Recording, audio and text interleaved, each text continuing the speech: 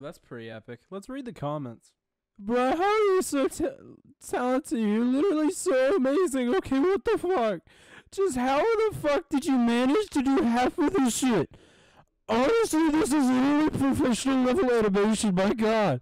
You worked so hard on this, and honestly, some fucking people better go become a Patreon already.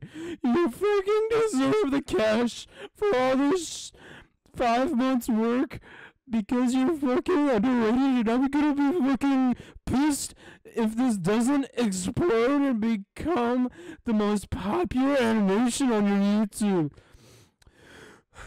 Before I fucking scream at some children.